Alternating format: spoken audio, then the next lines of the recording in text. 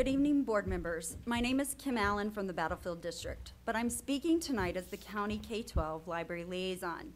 I would like to thank Mark Taylor and the board for the work that has already been accomplished to secure increased funding for our schools, pay raises for staff, budgeting for additional staff, especially in special education, and working to maintain our health coverage without a cost increase. Thank you to everyone involved with finance and budget work. Unfortunately, I cannot praise every area of your work yet, but I do have hope.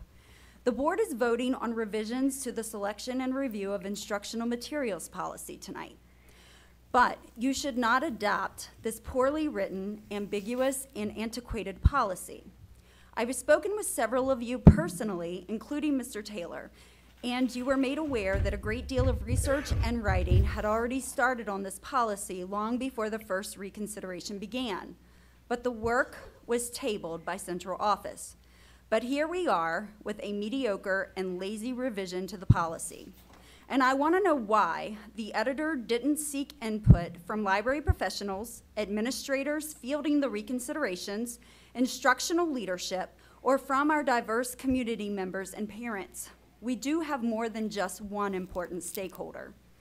This entire policy needs modernization. Just adding in the sexually explicit definitions and a few questions regarding sexually explicit material does not come close to addressing all the issues with the policy and regulations.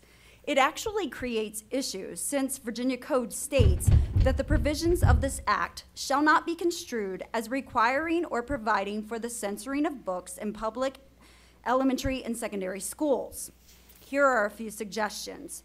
First, this should be called Selection and Review of Instructional Materials and Library Materials. Then go back and read the questions that the Reconsideration Committee members must answer when they meet as a committee. Do they even make sense to you? Committee members noted frustration with the questions, but this revision doesn't address those issues. Did the person editing this policy, Mr. Russell, even look at the complainant form? It was written in the 90s when we still use film strips, and it doesn't capture all the information that we need from the complainant. CPS can do better than this. My biggest concern is that the revisions do not address the reconsideration process. Why are there no revisions? So one mom can continue to exhaust school personnel and potential committee members and lead her assault on our libraries and librarians?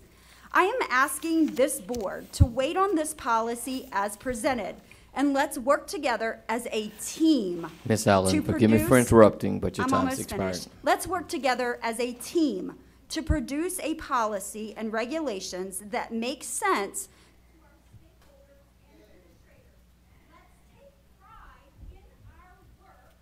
Uh, Ms. Phelps, we moving forward here?